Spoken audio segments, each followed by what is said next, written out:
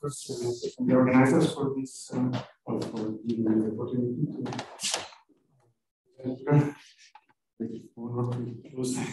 this workshop. and also for organizing this workshop.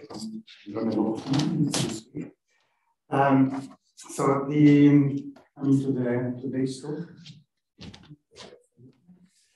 Um, yeah, so this is a recent work that uh, I've done with uh, my former uh, postdoc Yoshito Kazashi, who is now in Heidelberg with Scheichen recently.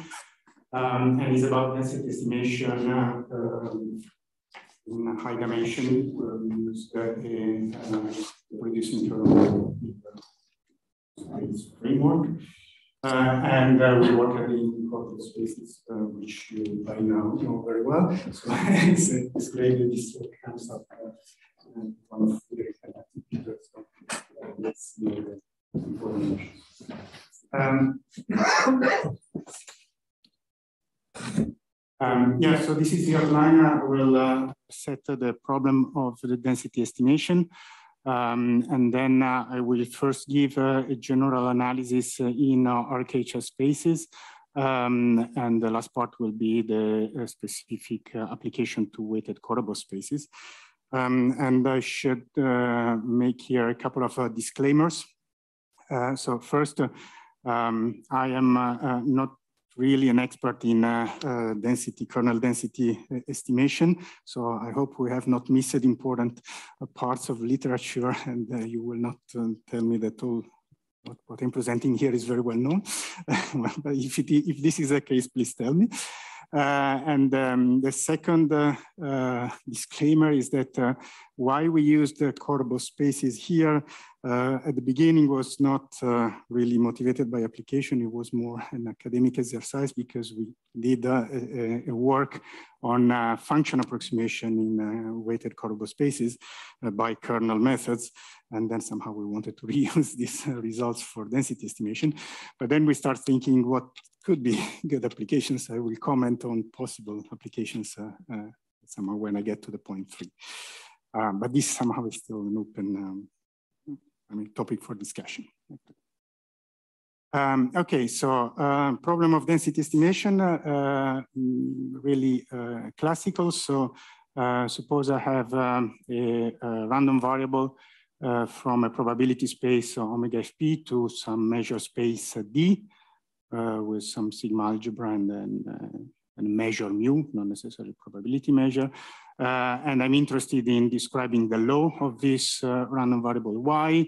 And I assume here that this law has a density with respect to this reference measure mu. So I can uh, provide the probability of any event y being in any measurable set B as the integral of the density uh, in, in, this set B. Uh, and what I want to estimate is f given a random sample. So given IID realizations of this random variable y. This is the only information that I have. And from this, I want to reconstruct the density F. Um, and so this is set in abstract uh, terms, but uh, in, this, in the last part of the talk, I will focus on the case which uh, similar to what has been discussed this morning. Uh, so where D is a unit uh, uh, hypercube, 0, 1 to the D, and the, the dimension D is potentially very large. So I'm interested in high dimensional density. Uh, and uh, I'm interested uh, actually in results that are free, of dimension free. So is it possible to approximate this density in very high dimension without the curse of dimensionality? Um, so as I said, uh, I have, as I anticipated, the framework is the one of kernel approximation. So I will work in a reproducing kernel Hilbert space NK, uh, which is defined by a kernel uh, on D. Um, I make those two assumptions on the kernel, in particular that the diagonal of the kernel is integrable with respect to the measure mu, which guarantees that the reproducing kernel is contained in the L2 space.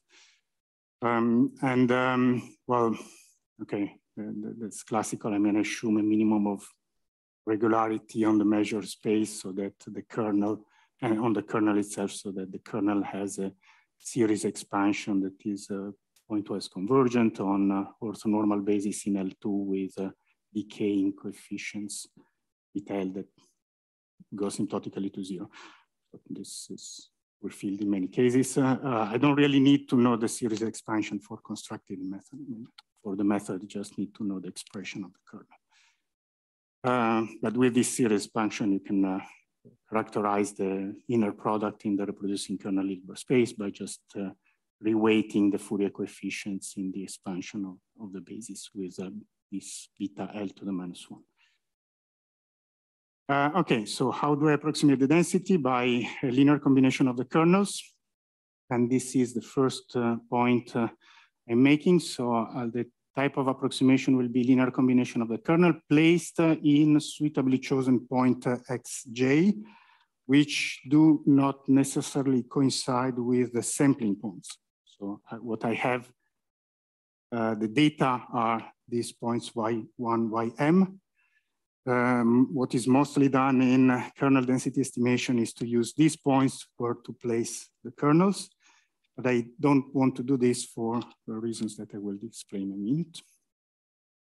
Uh, so I rather place the kernels in a well-chosen set of points, which will turn out to be a lattice rule, rank one lattice rule in the third part of the talk. Um, and, uh, and then, of course, I uh, take a linear combination with coefficients Cj, which have to be chosen properly. And I will define in a minute how we will choose these coefficients. So as a matter of fact, this approximation I've had will live uh, in a finite dimensional uh, subspace, which I call Vn, which is given by the span of these kernels in the points xj. And of course, xj has to be chosen properly so that this subspace has good approximation. Um, okay, here is the idea, and it's not our idea. It's actually an idea that was proposed by Markus Hegland uh, uh, and co-workers in 2000 um, on how to approximate the density, and Michael Griebel has also worked on, uh, on, on, this uh, approach. Um, the only difference with what, so in this paper by Markus Hegland, they were using finite elements as approximation uh, space, whereas here uh, I will use this uh, uh span of, of, the kernels. Uh, and the idea here, and uh, this has been also generalized to higher dimensions in this paper by Peherstorfer, um, Pflug and Bungartz, where we, they used sparse finite elements in a dimension. Um, so the idea here is to start with an idealized uh, uh, regression problem, where I just minimize the distance between the density F and my approximation V in L2 uh, with respect to the reference measure mu, and I penalize the RKHS norm of V. Um, now, as I said, if you just do standard kernel approximation, you would uh, look for the minimizer in the whole uh, RKHS space, but here I'm restricting to this uh, finite dimensional subspace Vn. Now this is not really uh, viable because uh, if you solve this problem, you need F, you need to know F everywhere, which we don't. So we have to work a little bit more. So the idea is to expand the square here in the square of V, the square of F and the inner product. The square of f, you can just drop it because it doesn't depend on the minimizer v. So you're left with these three terms. And now the last step uh, is to do a Monte Carlo approximation of this uh, inner product. So this inner product is the integral of v against the density f. Uh, but of what you know of f are only just few realizations of the random variable. So I approximate this integral by Monte Carlo, and this gives uh, this uh, expression here, okay? And this will be my computable uh, problem where f doesn't appear anymore, but what appears here are the realizations of uh, the points that I have, ym. Uh, and this is a quadratic uh, minimization problem to, to, solve. And this was actually the problem proposed in, in, in these papers mentioned here.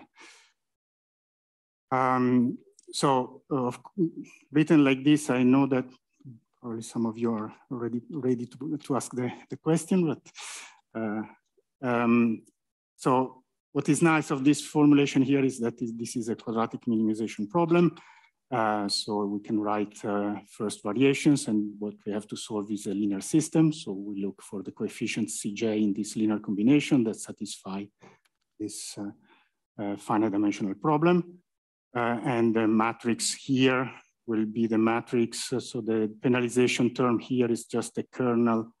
The, the matrix that correspond to this penalization term is just the kernel evaluated in xi, xj. And the matrix that comes from this L2 inner product, you will have to take the inner product of the kernel centered in xi, xj, the L2 inner product. Uh, okay, so, um, ah, and this is an important uh, uh, remark. If you look at this, uh, so this is the formulation of the problem for the density f hat. If we look at the expectation of this uh, estimator, with respect to all possible random samples.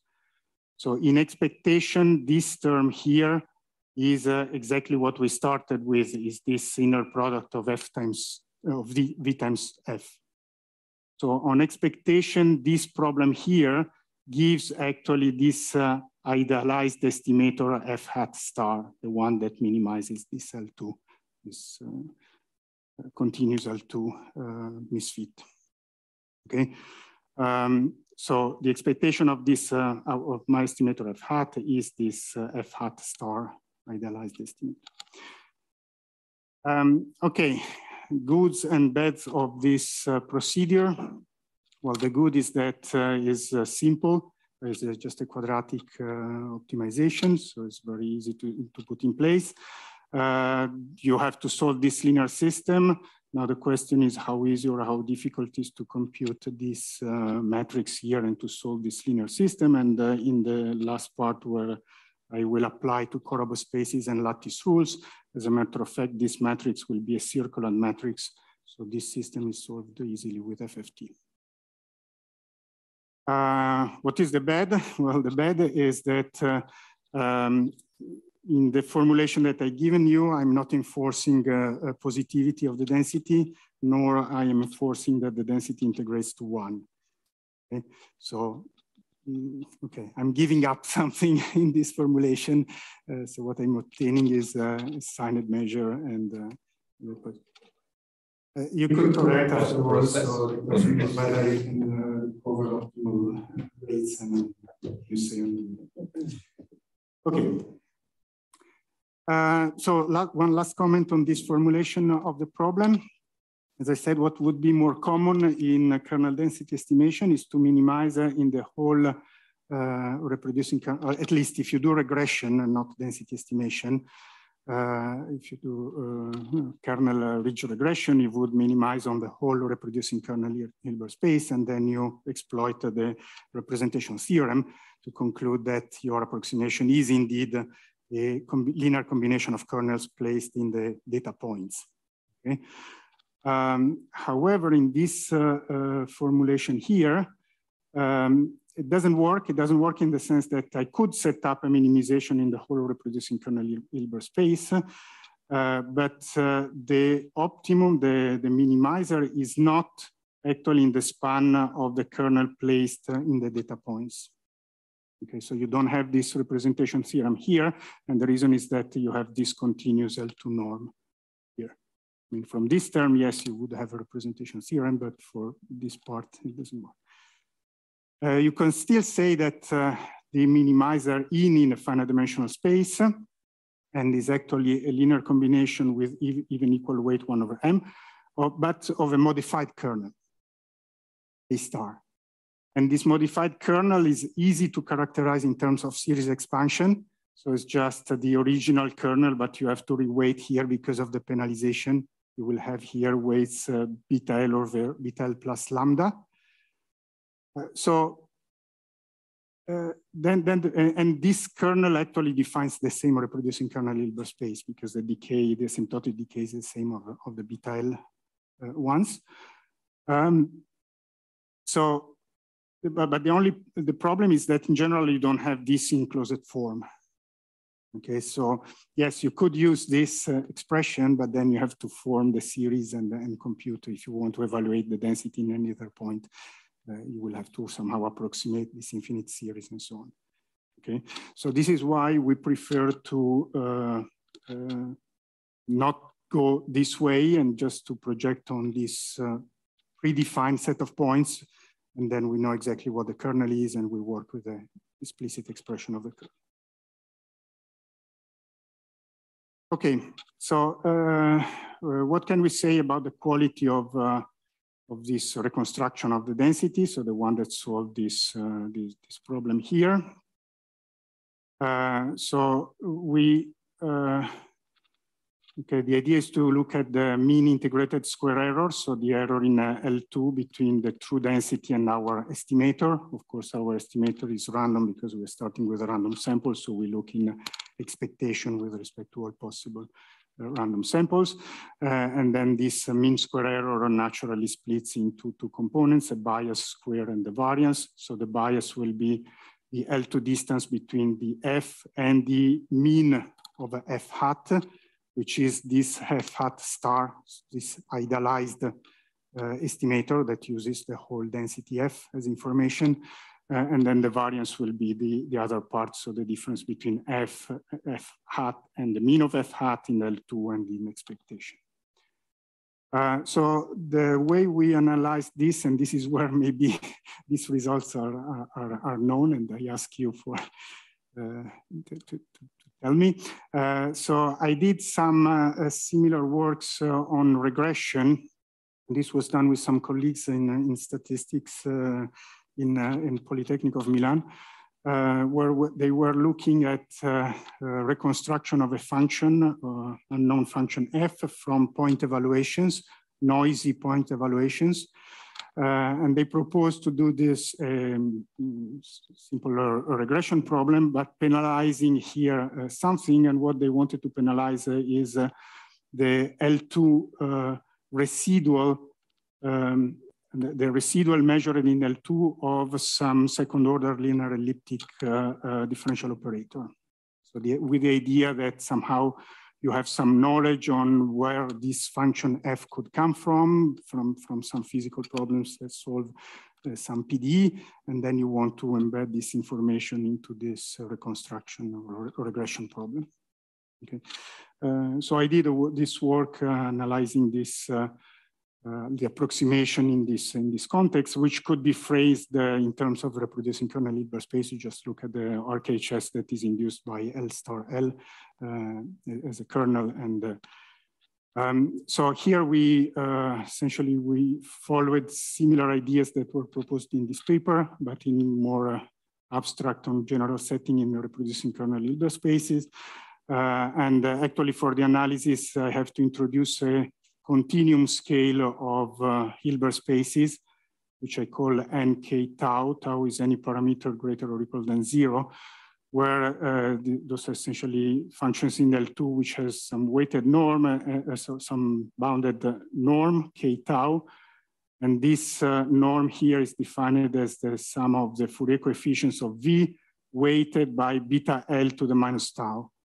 So if you take tau equal one, you get uh, the original reproducing kernel Hilbert space. If you take tau equal zero, you get the L2, and this uh, defines uh, anything in between. Uh, and, uh, and then I can define also the negative n to the minus tau as the dual of, of the nk tau space, and I can also end up with a proper norm. Uh, so if now uh, try to analyze the bias uh, and the uh, variance separately. So for the bias, so again, this error between uh, the true density and the mean of the estimator. what we could, what could show, what we could show is this result here. Um, that so this bias essentially is due to two different uh, components. One is the regularization, the penalization that we're putting. Of course, uh, if we fix uh, for a fixed penalization, we will never be able to recover the true f unless lambda goes to zero asymptotically. Um, so one term is the, due to the penalization, and the other is due to the fact that are, we are projecting on this finite element, uh, finite dimensional space. So we will have uh, a projection error um, between the true F and the projection on the subspace Vn. And uh, since we are in uh, RKHS framework, the uh, projection with respect to the uh, RKHS uh, inner product is indeed the kernel interpolant. Okay, so the uh, IN here is the interpolant operator that finds for a given V, returns the element in the subspace that interpolates the V in the, in the points xj. Uh, so this is one estimate of the bias, uh, and one can actually improve this estimate. Uh, and I mean, this type of analysis are, are known for spline regression. Uh, um, and so you can actually improve the, the penalization term here if you have extra smooth, smoothness. So the first result assumes that F is in the reproducing kernel Hilbert space. But if F is in the nk square, uh, then uh, you get a lambda, you can get a lambda square out of here, uh, out of this term here, which of course improves it because I mean, eventually lambda has to go to zero, but this says that lambda, this term of the bias will go to zero much faster than, than the other case. Uh, so in, concerning the variance, uh, again, you want to compare the true estimator with its mean. So the difference between the two satisfies this uh, uh, problem. So remember the f hat has a right-hand side this empirical mean, whereas the f hat star, the true mean has a, as a right-hand side the inner product between f and v. So I rewrite this right-hand side a little bit informally as the duality pairing between v and the difference between f and the empirical measure uh, placed in the data points ym. Uh, and then the idea to us to analyze this bias, uh, this variance term, I can take as a test function f minus, uh, I mean, the, this term here, f hat minus f hat star. And then I will have to measure somehow how, how fast this uh, goes to zero when m go to infinity and in what sense, in what uh, norm.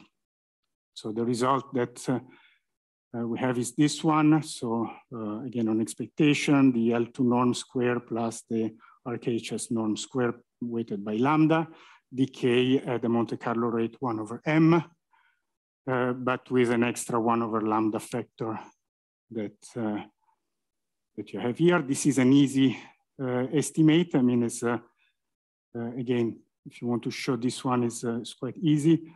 Uh, you just take the duality pairing here, you measure V in the RKHS norm, and you measure this uh, in the negative uh, norm. And you know that you can do this because the point evaluation is continuous uh, in the RKHS space.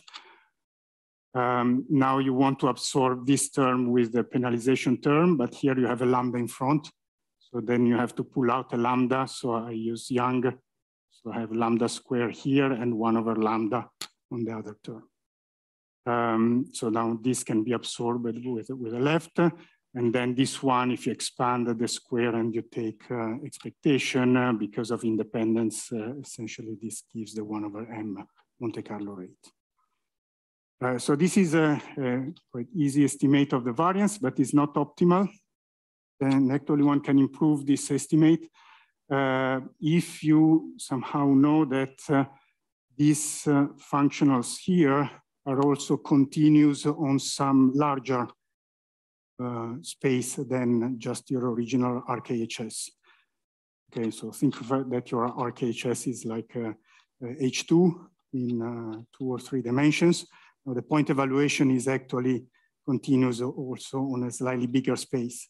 And then you can exploit this extra regularity of the point evaluation to get a better scaling in terms of lambda. Um, so if uh, uh, it turns out that the point evaluation is actually continuous also on some nk tau with some tau smaller than one. So it's in the dual of nk minus tau. Um, then you can improve this uh, estimate and having here a lambda to the power tau. So again, if your uh, RKHS is very smooth, then you can take tau very, clo very close to zero and then you can almost kill this term lambda to the tau. Okay, so that's the idea.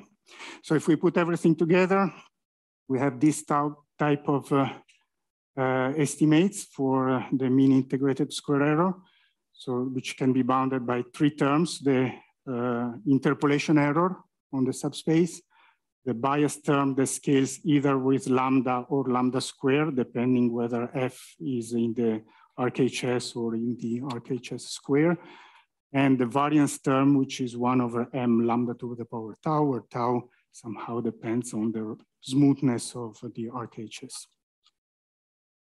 Uh, and the constants here, uh, they, they are quite explicit, uh, and the, the dimension never does not appear in this, uh, uh, in this bounds here. It never appears in this bound. So this is very general. Uh, there, are some further assumptions like this assumption here on the kernel on the density that you have to fulfill to, to get this bound. Um, okay, so then we wanted to use this, uh, this bound to, uh, didn't pay attention all the time when I started. Yeah. Okay, so I should not hurry too much. Uh, uh okay, so uh, then the idea was to uh, apply these results on the weighted Korobov spaces. so um, the setting is exactly the one that you have seen in the previous talks of, of this morning, uh, with the only exception that uh, I realized they've changed the notation uh, to be somehow more aligned to the PD world, where uh, let's say H beta beta would represent the Sobolev uh, regularity of the field, so the number of derivatives that you consider. For, so for the uh, QMC and the IBC people, beta is to is alpha over two. You want to connect with with the previous talks. Uh,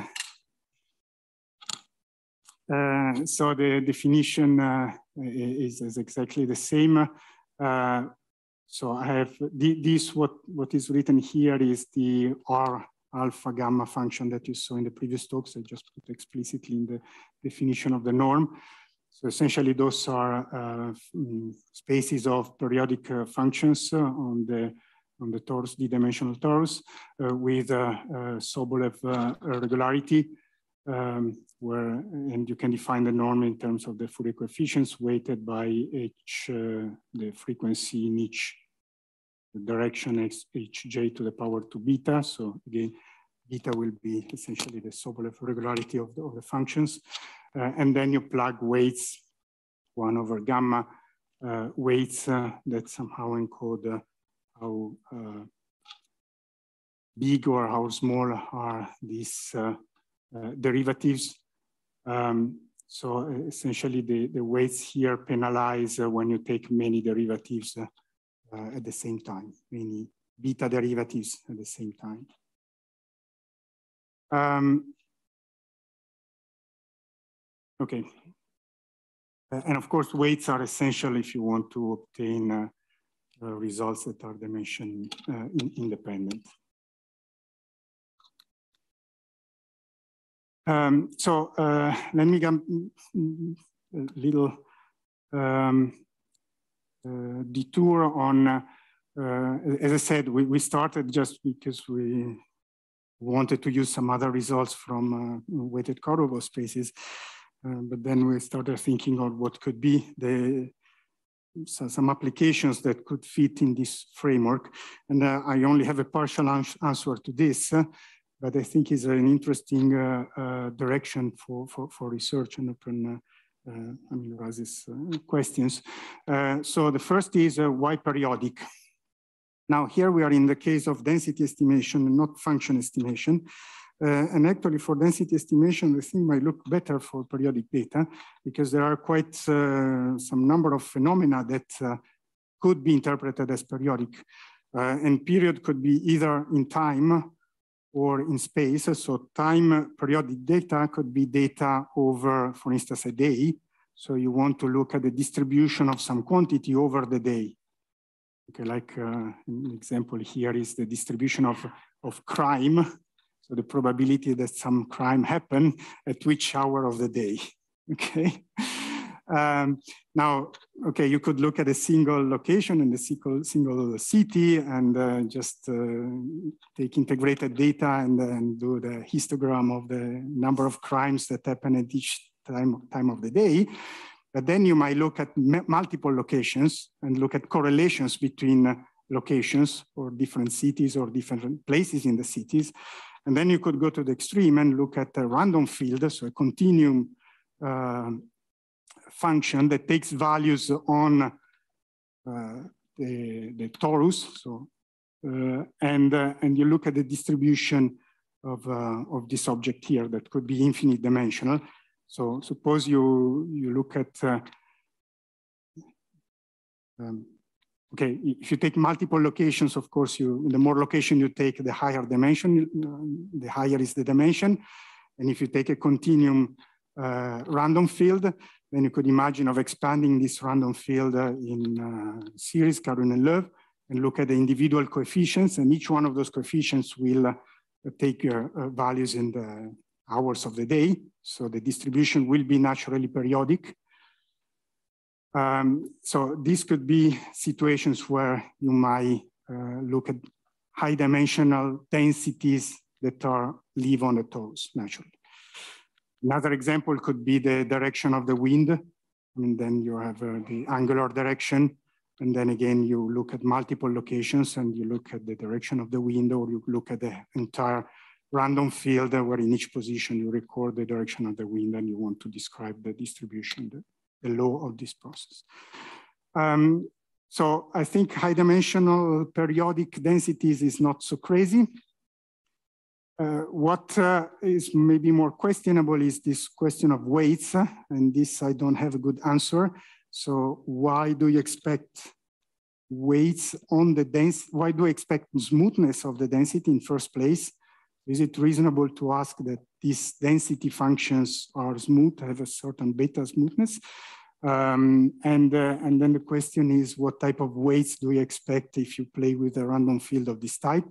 Uh, I don't know. so, uh, but I would expect that uh, somehow, okay, the smoothness, uh, this depends really on the generating mechanism, whether you can show that the density, I mean, showing that the density has certain uh, smoothness might not be easy, but maybe can be worked out. Uh, show that you had certain decays, I, I would expect is it is reasonable the same way it is reasonable when you expand the random fields and, and you have a natural decay in the series. But again, this is, uh, this is still open discussion, open questions. okay, so coming back to the, the setting, the RKHS setting and um, how to apply uh, the, the general analysis in this case. So we have considered this uh, Korobov spaces. Uh, what is nice is that, uh, again, we have an explicit uh, uh, expression for the kernel. And if beta is an integer, actually, um, this complicated expression becomes just, it can be written in terms of Bernoulli polynomials. So really this object is uh, easy to uh, evaluate. I mean, it's non-enclosed form and easy to evaluate. Uh, and uh, so th this is for the kernel. Uh, and then for the approximating space Vn, so the points that we choose where to place the kernels, as I have anticipated already, we are using rank one lattice rules. They were already introduced by Peter in the previous talk. Uh, so we use a generating vector and then we wrap it around in the, in the unit cube. Um, and uh, uh, why we chose, we have chosen uh, these lattice points again, because uh, I mean, if you take lattice rules, then, and this type of kernels, actually you end up, as I've already anticipated, with a circulant matrix. So actually solving this linear system is is very fast by, by FFT. Okay. Um, and uh, so now if we want to apply the, the general result that I gave to this uh, particular setting, so we have essentially to analyze uh, uh two terms. Uh, maybe if I go back uh, to the general, so the general result is this one. Uh, so now having specified uh, the reproducing kernel uh, Hilbert space, uh, and the choice of points, so the subspace, we have to analyze essentially this term here, which is the interpolation error in the subspace or a function f in the RKHS or the RKHS square. And uh, we have to understand the tau here that gives this extra regularity, which of course depends on the beta uh, in the Korobov space. Um, okay, so for those two, for the interpolation error, uh, this is uh, actually a, uh, a result. Uh, this is a recent work that uh, we did with Ian Sloan, Frances Kuo, and um, Vesa Kaarnioja, and Yoshihito um, Kazashi as well. where we have actually analyzed the kernel interpolation. So given a function g in the Korobov space h beta gamma, with certain uh, weights gamma and regularity beta. Um, we were able to show that it's possible to construct a generating vector by component, uh, component by component construction uh, so that the uh, interpolation error in L2 uh, decay like n to the minus bit over 2 plus uh, some epsilon. Um, and of course, there are conditions on the weights to, to achieve this. Uh, the, those are uh, some, summability conditions as, as were mentioned in the, in the, in the previous talk, uh, which are given here. So as long as this uh, gamma weights to this power here uh, sum up, uh, um, then we can achieve this rate in any dimension. So the constant here is independent of the dimension. This would be an infinite dimensional of dimension free result. Um, how good it is? Well, uh, we actually have a lower bound on the uh, interpolation error uh, n to the minus bit over two here. Um, so this is a near optimal uh, result. This is not the optimal result that you can get uh, um, with, um, let's say, um, L2 projection that is optimal uh, uh, if you restrict to, to lattice rules and interpolation. So uh, standard information. Um, okay, so this was for the interpolation. Now for the other parts, so the tau here in the variance uh, uh, estimate. Uh, well, this um, well is relatively easy calculation. So what we could show is that if uh, um, given a, a, certain beta, so given a certain Korobov space H beta gamma, uh, actually uh, we can take tau um, strictly larger than one over two beta, uh, and uh, the point estimate will be continuous in this uh, H beta tau space. This is the amount by which we can, the, the extra regularity that we have to, for this uh, H beta tau still to be a reproducing kernel Hilbert space. So if we put uh, this uh, together, so uh, now if we apply this for density estimation and we look at the mean integrated square error, uh, so again, I recalled here the, the general uh, expression for the error. In this Korobov space context, this term here decays as n to the minus beta over 2 plus some epsilon. And the tau here can be taken as 1 over 2 beta plus some epsilon. Uh, and then you can balance these three error contributions. So you can choose n uh, and lambda so that uh, those three terms uh, decay at the same rate. And if you play this game, then you end up with these uh, final estimates in terms of m only. So then the mean integrated square error for so your density approximation in L2 decays like m to the minus one over one plus one over two beta if you are in H beta gamma and one plus one over four beta if you are in H two beta. Okay. So what does this, and again, this result is uh, the, all the constants are independent of the dimension here. So this is really infinite dimensional approximation of the density with a rate uh, which is worse than Monte Carlo, but this is uh, to be expected. I mean, you cannot get a better rate than one Monte Carlo if you just start with a random sample from, from the density. But this shows that you can get uh, somehow as close uh, uh, you can get very close to the Monte Carlo rate uh, m to, to the minus one if you have a lot of smoothness, of course. Okay, so if your density is really very, very smooth, so if beta is very large, you can get close to n to the minus one in uh, high dimension. Um, okay, well, that's pretty much the end. I mean, we just uh, run a very, very simple example uh, where we cooked up a density, uh, in this case is even in factorized form. Um, and, uh, and then uh, we, so here, um, yeah, and then we played with uh, these kernels here with variable um, smoothness, alpha. Um, sorry, here I went back to the alpha notation instead of beta. uh, and, um, and actually we do see, ah, sorry, I only put the results for d equal 15, but we have run for six and, and 15. You, have, you can look at the paper and uh, we do observe the same uh, uh, convergence rate in, in both cases. So the results are quite independent of, of the dimension indeed. Um, okay, that's uh, the end of my talk. So this is our, those are really uh, preliminary results and still uh, many open uh, questions on, on this density estimation, but uh, we try to analyze in the framework of reproducing kernel Hilbert spaces with this using this um, um, I mean, and uh, we, we, so far we have looked at this uh, Korobov setting and, uh, and, and lattice rules.